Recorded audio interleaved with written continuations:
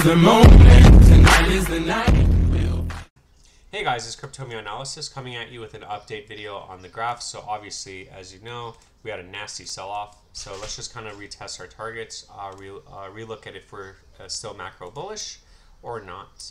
So as you can see, we are still macro bullish. So uh, the uh, the 382 got tagged. Obviously, we had some sort of buyback, a quick buyback, and a quick recovery. So this is great. Now we're still above the 382. So this is solid. This is really good.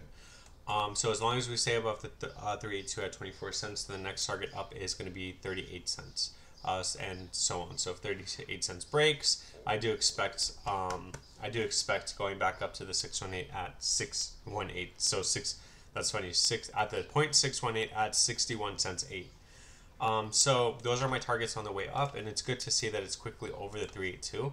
And from the bottom to the top, from the low to the high, as you can see, our support at 20 cents stick get tagged. Uh, so 20 cents would be the absolute lowest it can go, which it obviously tagged, uh, for it to still maintain bullish um, a bullish status.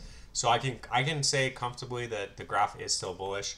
With this sell-off, I do assume that it did put the RSI in extremely oversold, which it exactly did. Stoch RSI is extremely bearish, so it kind of reset the entire uh, market.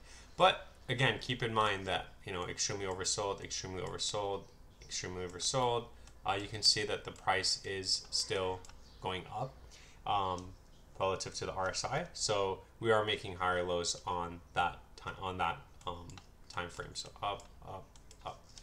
So uh, again, um, those are just my targets. Obviously, everything held. So from the low to the top, uh, from the high to the low, again, 24 cents, 61 cents, uh, and then uh, if we manage to break that, then we're looking at about a dollar 32. Um, those are just my targets. So if you like them and if you like my videos, please like, subscribe, comment. Thank you so much for your support, and I'll catch you guys in the next video.